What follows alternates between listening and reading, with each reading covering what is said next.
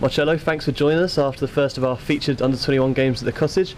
You're a man who's all about goals. You must be very happy to have two tonight. Yeah, I mean it was very good, you know, to win this game after you know the defeat in Liverpool. And of course, I scored two goals, so I'm very happy, and the team is happy. You know, we're all good now. I know Kit and all of you boys disappointed with how the game went on Monday in Liverpool. It was a good team performance today, wasn't it? Everyone pulled their weight.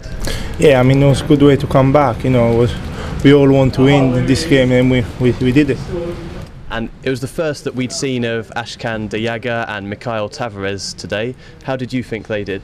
Yeah, I think they played all right. You know, Ashkan just came back from injury, and you know, for Michael was was his first game, but I think he did so well. You know, midfield, you know, control the game, and you know, both did well. And was it a difficult game to play in? It was very, very wet out there this e- this afternoon. Yeah, I mean it was bit heavy with pitch, but you know, but pitch was nice. So yeah, it was a bit hard, but you know, in the end, when play football, is always you always enjoy. It was Kerim Frei's first game back. He was excellent, as we know he is.